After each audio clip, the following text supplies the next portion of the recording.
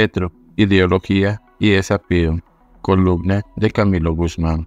Hace unos días, el diario El País publicó un perfil detallado sobre el presidente de la República, revelando aspectos significativos de su introspección ideológica. El artículo pone en evidencia que, lejos de buscar nuevas perspectivas, el presidente Petro se apela aún más a las obras que han forjado su visión del mundo. Nos enteramos de su reciente relectura de los tres tomos de El Capital de Karl Marx, una obra cuyas ideas han llevado a millones a la pobreza y han destruido la libertad individual.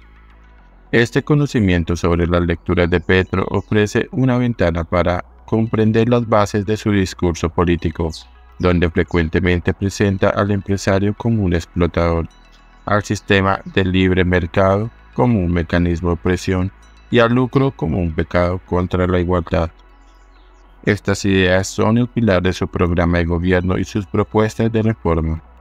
Hasta ahora, lo que parece haber limitado su capacidad de implementar completamente su agenda son su falta de habilidades de liderazgo y gestión, su limitada capacidad de trabajo y la incomodidad con la que ha asumido su cargo. Sin embargo, el hecho de que no haya podido avanzar completamente en su agenda anti-libertades no significa que el impacto de sus políticas esté completamente mitigado.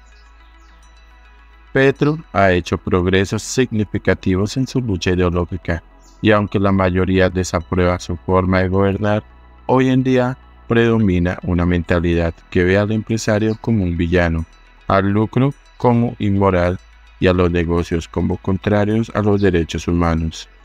En el panorama político actual no se observa ningún líder capaz de defender con firmeza la iniciativa privada, el libre mercado y el lucro. Muchos temen ser etiquetados como neoliberales y no están dispuestos a afrontar el costo en la opinión pública de defender la libertad económica. Confundidos han terminado por acomodarse a lo que piensa la mayoría. No los juzgo, ya que la política es un juego de suma cero, con poco espacio para la ardua tarea de transformar las ideas predominantes en la sociedad. Alexis de Tocqueville explicaba acertadamente que la riqueza de los países no depende tanto de sus recursos naturales o de la fertilidad de sus suelos, sino del grado de libertad de sus habitantes. No serán los políticos quienes salvaguarden esta libertad, ya que no tienen los incentivos para hacerlo. Confiar únicamente en las elecciones es parte de la explicación de cómo hemos llegado a esta situación. La defensa de la libertad es una tarea que recae en la sociedad civil, la cual parece estar casi ausente frente al Estado y la política.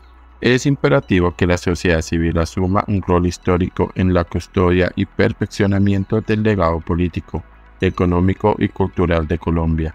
Esta misión debe contar con el apoyo y financiamiento de los empresarios, quienes actualmente parecen distraídos por la política menor y cautivados por los resultados electorales.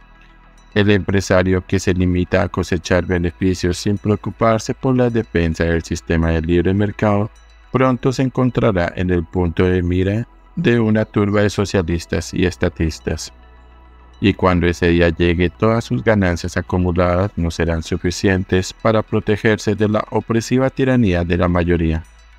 Aquellos que ante la disyuntiva entre riqueza o libertad eligen la riqueza terminan perdiendo ambas. Llegó la hora de asumir nuestra responsabilidad como sociedad civil a defender la libertad.